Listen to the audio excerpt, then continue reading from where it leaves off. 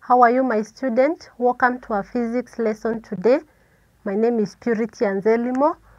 Our topic, we are continuing with the Newton's, the Newton's laws of motion.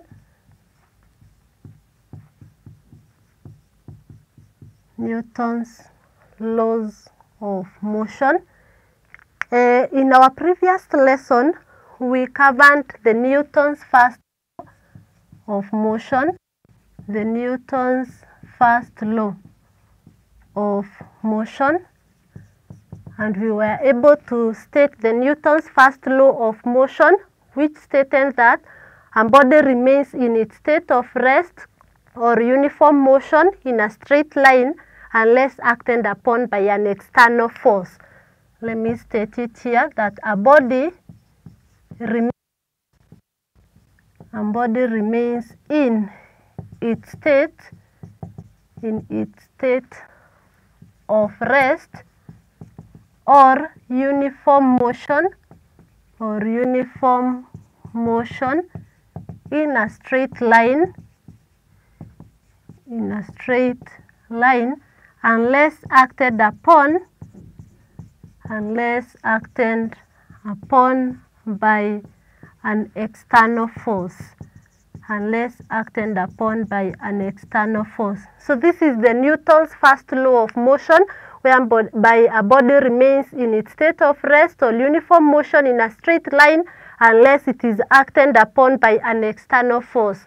Again in Newton's first law of motion we were able to calculate momentum momentum whereby we said momentum which is denoted by P momentum is given by the product or it is simply the product of mass and the velocity. So it is given by mass, mass of the body that is denoted by m multiplied by the velocity of that body v and therefore momentum is given by mass times the velocity whereby we said mass must be in kilograms velocity in the SI units that is meters per second and therefore we say that the SI unit of momentum is kilogram meters per second. So that is the Newton's first law of motion. In our today's lesson, I want us to go ahead to the other law of motion. In this topic, we'll be looking at the laws of motion, which we say there are three. So we are going to look at Newton's second law of motion. The Newton's second law, Newton's second law of motion. Newton's second law of motion.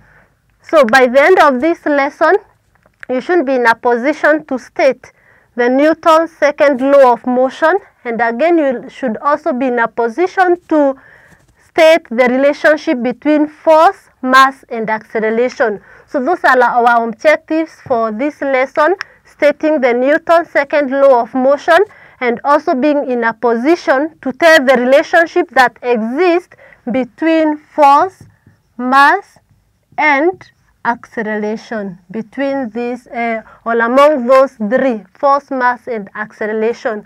So newton's second law of motion.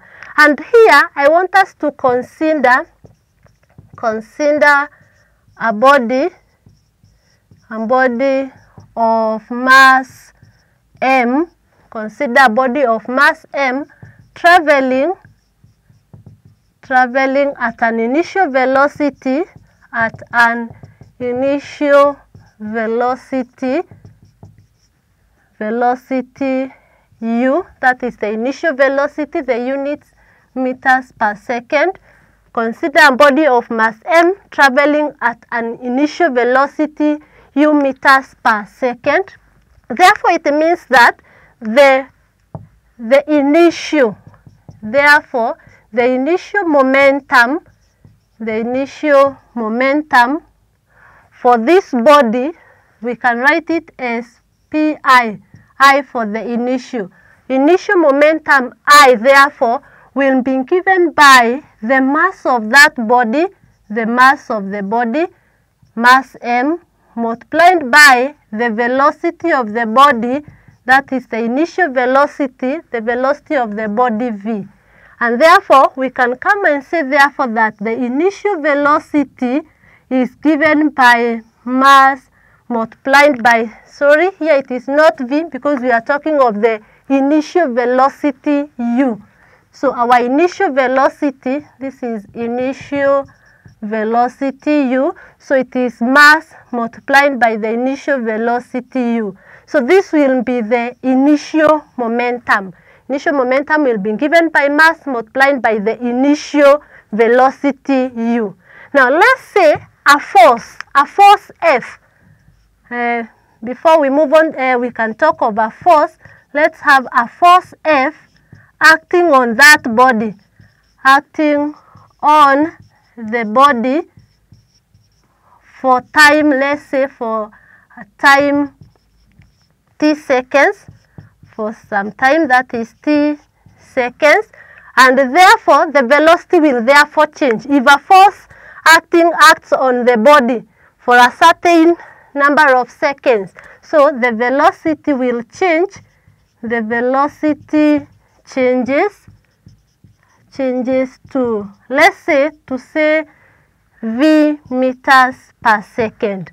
So if a force F acting on the if a, a force uh, a force F acting on the body for time t seconds, the velocity therefore will change to let's say v meters per second.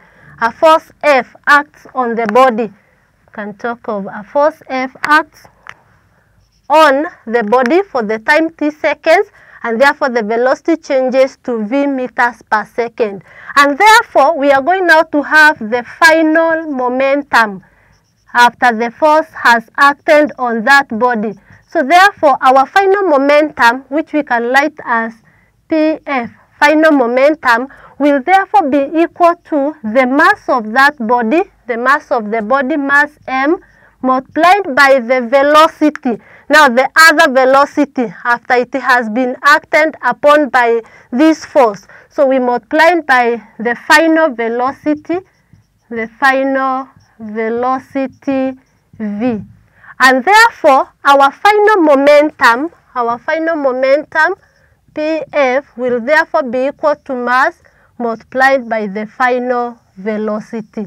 So this will give us the final momentum.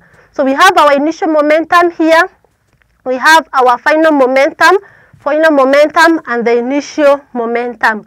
So all these we are moving ahead so that we can be able to derive the Newton's second law of motion. And therefore, we can simply come and say therefore that therefore we can be able to calculate the rate of change in momentum.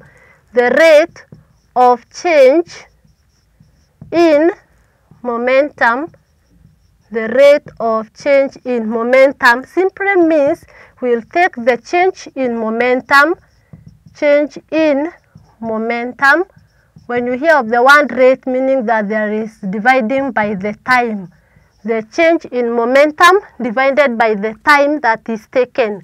So the rate of change in momentum will therefore be equal to change in momentum and our change in momentum is the final momentum minus the initial momentum.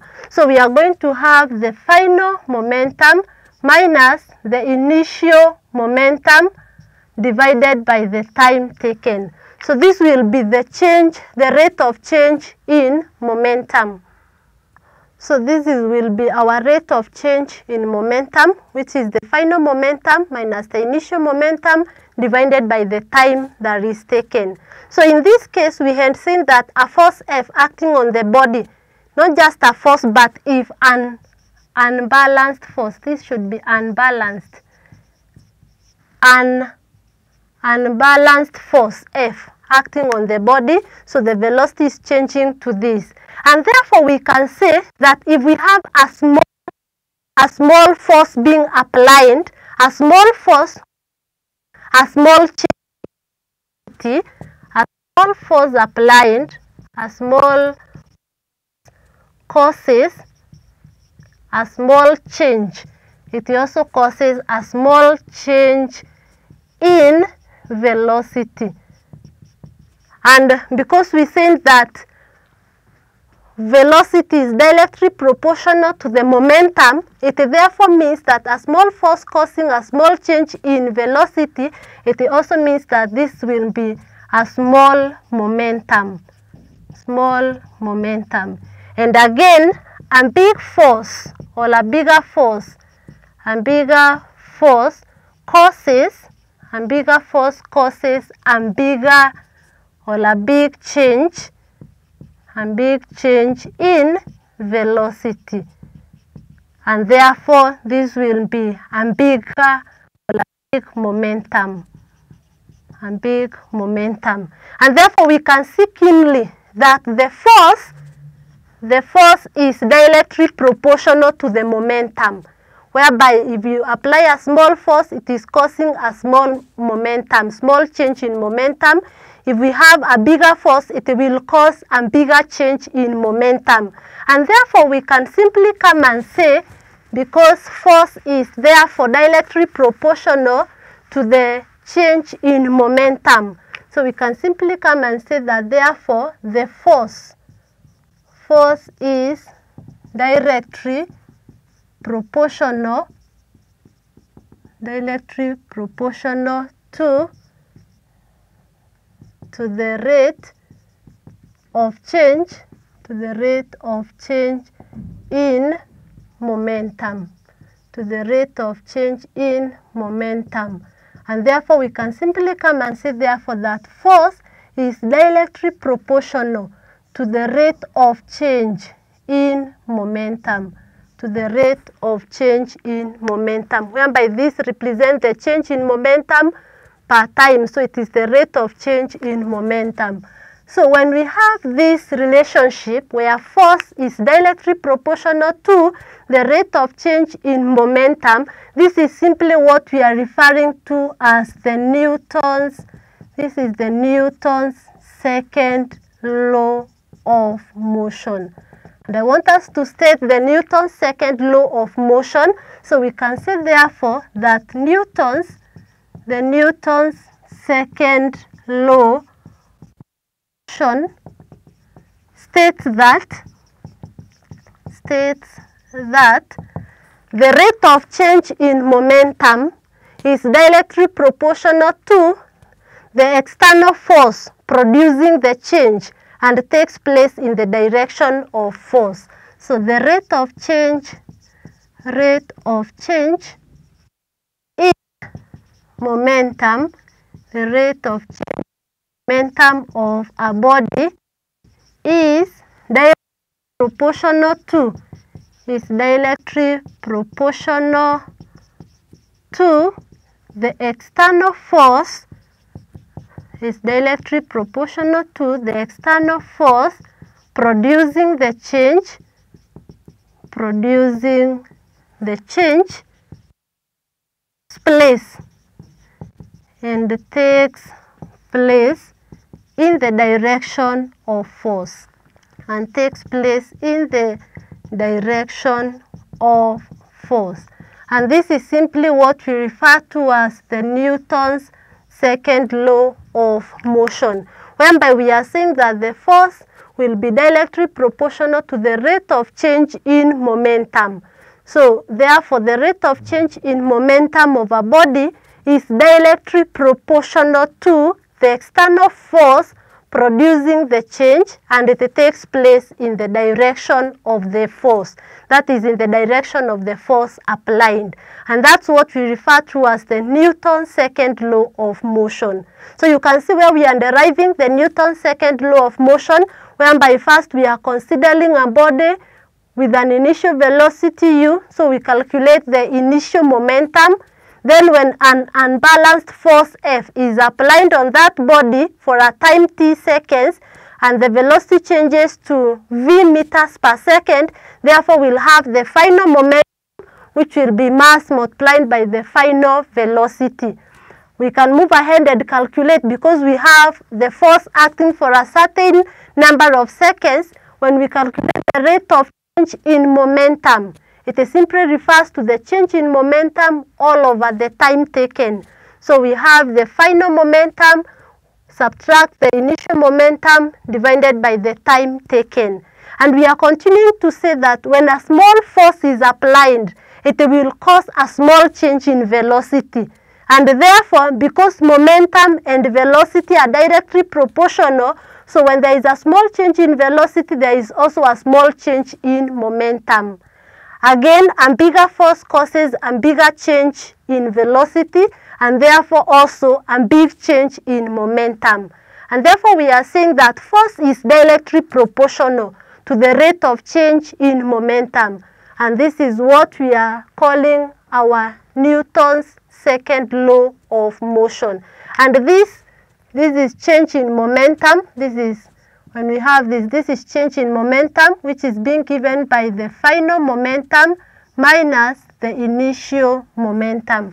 That is the change in momentum. So Newton's second law of motion states that the rate of change in momentum of a body is directly proportional to the external force producing the change and takes place in the direction of force.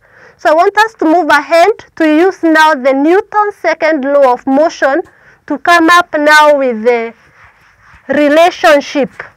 So we we'll look at the relationship that exists. So relation, still in Newton's second law of motion. So relation between force, the relationship that exists between force, mass, and acceleration and acceleration. The relation between force mass and acceleration. And for us to derive this uh, this relationship between the three force mass and acceleration we are going to start by considering the Newton's second law of motion. So we've stated the Newton's second law of motion and we have seen that the force is directly proportional to the rate of change in momentum. Is directly proportional to the rate of change in momentum. And therefore, this simply means that the change in momentum is given by the final momentum minus the initial momentum. And therefore, we can move ahead. Therefore, force is directly proportional to the change in momentum the rate of change in momentum, final momentum minus the initial momentum divided by the time taken. Again, we know very well that the final momentum is given by mass times the final velocity. Then we know very well that the initial momentum is given by mass multiplied by the initial velocity. And therefore, it means that force is directly proportional to the rate of change. That is, here we have the rate of change in momentum, final momentum minus the initial momentum divided by the time taken. So with this again, we can move ahead. Therefore, force is directly proportional to, we can factor out m, that is the mass. We factor out mass, so we remain here with the v minus u divided by t from our uh, from our knowledge, previous knowledge that is on linear motion, we know very well from linear motion, we know that v minus u, that is the rate of change in velocity is equal to acceleration. The rate of change, the rate of change in velocity, which is final velocity minus initial velocity, all over time taken is equal to acceleration and therefore our formula will reduce to F that is force is directly proportional to mass and since we have V minus U over T as acceleration so we have force is directly proportional to the product of mass and acceleration. So we can move ahead to remove that sign. So we are having the sign of direct proportionality whereby now we have force is directly proportional to mass multiplied by the acceleration. So when we want to remove this sign and we put an equal to sign, when we want to remove this and put an equal to sign, we are going to have F therefore is equal to, we introduce now a constant, is equal to a constant k mass times acceleration, where k is our constant, is a constant of proportionality. So we want to find the value of k. We know very well that 1 Newton, 1 Newton or a force of 1 Newton, a force of 1 Newton causes a body of mass, a body of mass 1 kilogram to accelerate, to accelerate by 1 meters per square seconds. A force of 1 Newton will cause a body of mass 1 kilogram to accelerate by 1 meters per second, meaning that if our F is 1 Newton, then we want to find the value of K. Our mass is 1 kilogram and the acceleration is 1.